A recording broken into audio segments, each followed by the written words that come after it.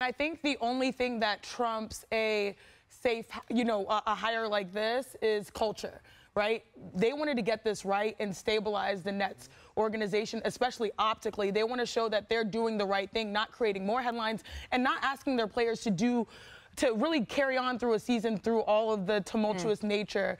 And I think what you saw in the short time that Coach Vaughn was available, the Nets have stabilized. You know, Kevin Durant is the Eastern Conference Player of the Week.